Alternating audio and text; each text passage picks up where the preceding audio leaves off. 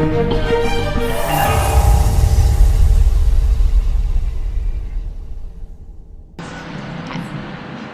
se? Hello, Vivi Blogs. Vivi? Vivi, YY. Hello.